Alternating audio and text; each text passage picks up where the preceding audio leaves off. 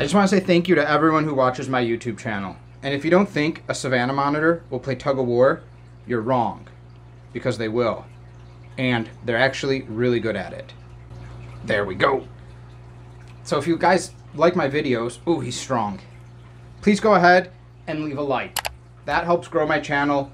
Also, please comment on my videos. I love interacting with you guys. Uh, it's a lot of fun and I get to answer questions and see that you guys care. Uh, and if you're not a member of the family, you can go ahead and subscribe. It's free. It helps me grow the channel even more. And I've listened to you guys, and I do have a Patreon down below. Oh, alligator death roll. So please go ahead and uh, like, comment, subscribe, bell icon. Hey guys, we have Mongo here. He's woken up from his brumation. Um, and he's getting ready to shed actually. This is good. You can see this the shed is just about to happen on his head, which is really good because him being an older bearded dragon, they don't shed often. But with Mongo, remember he's stunted for his size, even though he looks. That's why he looks so chonky. But that leads to a problem. He will. So what do bearded dragons normally do when they wake up from brumation? They take a huge crap, a huge urate plug, because all that water just sitting in there in a huge dump. Now, with Mongo, what can happen after his brumation every time is he will have a sperm plug every single time. So I need to watch this because I need to know to get rid of it, guys. And you have a stunted bearded dragon who, and really just any male bearded dragon. Sometimes, though, um, it happens to normal males, but almost always it happens to stunted males is when your male wakes up from brumation, if he's still acting lethargic or still not eating, not looking right, maybe his poo is really watery, because bearded dragon poop, guys, the, the stool itself, the turd, should, should be could have some moisture, but shouldn't be sitting in a pool of water. Chances are he's got a sperm plug in his vent that's preventing things from working correctly. Now, I've done a video on this before. Uh, but here's another one because he's up from brumation again. So we got an emergency sperm plug removal. Um, also, I want to show you guys his femoral pores. Man, they look good. They look good. So I'm going to do this really quick because he's got to be tilted a little bit. I'm just going to get him in position. And remember, they don't have a diaphragm. And if you guys stick around the channel, you hear me say this often, but if you're new, that's why I got to say it. So bearded dragons, they they don't have a diaphragm. So when you when you flip them over like this, their chest cavity collapses and pushes down on their lungs, making it hard for them to breathe because the weight of their chest cavity is now on their lungs. So sometimes eh, normally in babies actually they can still breathe being flipped over because their chest cavity is so light, but in full-size adults it is extremely labored breathing uh, and sometimes complete suffocation. Not always, but 90% of the time, comfortably to say that number that high. So we're going to flip him kind of upright like this. Uh, so so you can turn him, you can stand him straight up. And a lot of times people confuse that because I'll hold Mongo with his stomach facing the camera, but with his head up and his tail down, he can still breathe. Um, being upright like this, he can still breathe. That's fine. This this is still allowing breath. It's when his back and his stomach is up like that. So I'm gonna get the tweezers, and I know he normally has a sperm plug on the right side. So right here, he's completely comfortable. He's completely capable of breathing, but we're gonna focus uh, in here. We're gonna go get the sperm plug. Okay, or we're going to try to, I guess, for the camera. Let's see, we open his vent. Let me make sure I'm centered here. Let me actually, first, guys, I guess I should say, let me make sure one's in there. Oh, yep.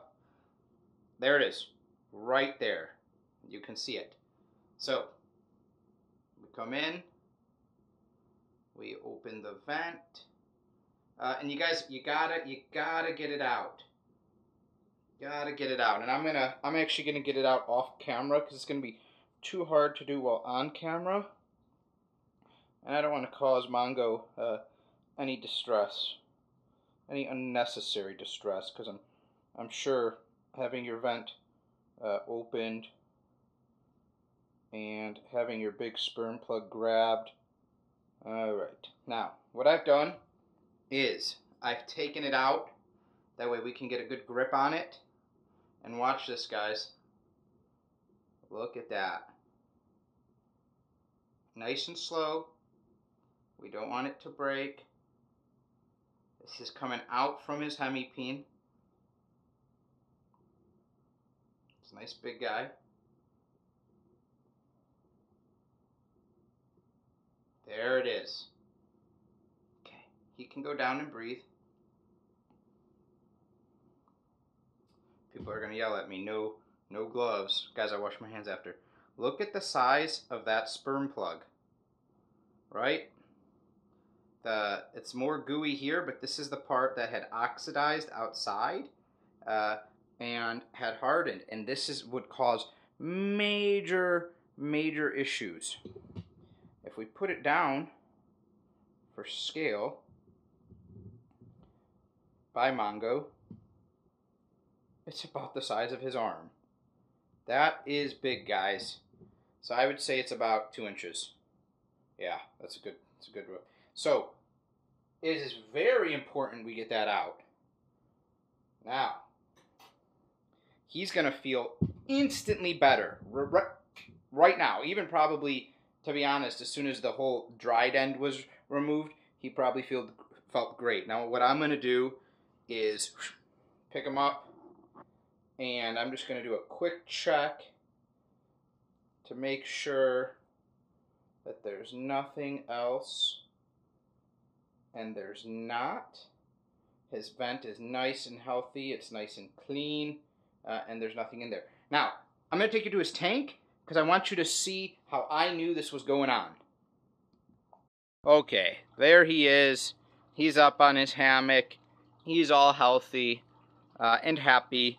And remember, guys, in terms of brumation, Mongo was the first bearded dragon to go into brumation. That doesn't mean necessarily he was going to be the first one out. It just so happened that he was. Now, coming by, because I, I you check the cages every day. I've seen him basking, so he's heated. He's heated up. And then I saw this. And I show poo all the time. So on the left, guys, you have urate. There's the giant plug of, of pee. And on the right, you have his stool. But look at the stool on the normal, healthy log there. But look at the stool here. It's much wet. It's it's wet, but but that in and of itself, and I'm not going to touch it, guys. But that in and of itself does not necessarily mean I should flag look at the newspaper substrate that I use, and this is why I really like using newspaper or paper towel. Um, look at the wet pattern.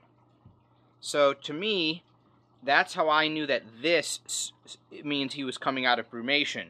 And this is how I also knew he was going to have uh, a sperm plug. And actually, I just noticed this right here which that is, yep, oh yeah, and there's a little piece on it, uh, part of the sperm plug. So he was probably trying, this was probably sticking out of his vent, and he was trying to rub it off here, and that broke off, and then the only piece was inside his vent. So, it's just important, guys. You know, if you have an animal of any kind, well, heck, even children, like babies that you're changing their diaper, you know, you can't be grossed out by poop because poop and pee their bathroom, it tells you a lot. But okay, this was this guy's emergency sperm plug removal. Because uh, if they can't close their vent or they have impaction, that equals infection. And then that normally, normally equals death, or at least a shortened lifespan. I'm going to get this taken care of. Thanks you guys all for watching. Thank you guys. We're pushing towards 100,000 subscribers. I, I can't even believe it. That means uh, a reptile unboxing of the silver play button, I guess. I don't know how I'm going to do. I have to do something where they get involved with it. Um, thank you guys so much for subscribing. I can't believe how much the channel has grown.